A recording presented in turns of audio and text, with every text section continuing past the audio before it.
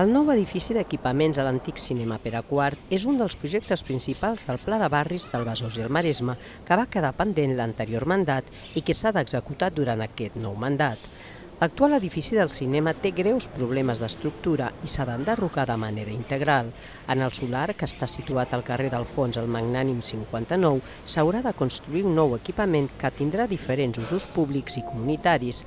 El projecte actual contempla la instal·lació d'un auditori, espais per a entitats, oficines de serveis administratius o un centre d'assistència integral, entre d'altres. El nou govern municipal es compromet a tenir-ho acabat durant aquest mandat i a continuar treballant amb les entitats veïnals en els usos definitius per al barri.